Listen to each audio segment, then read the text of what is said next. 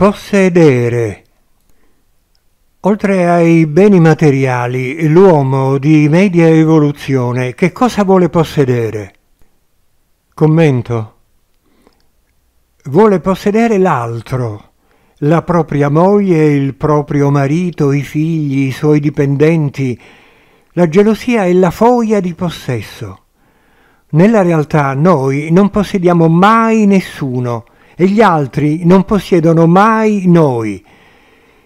Tutta la possessività è un'illusione perché per la legge divina, al di fuori della nostra evoluzione che poi è noi stessi, noi non possediamo mai nulla.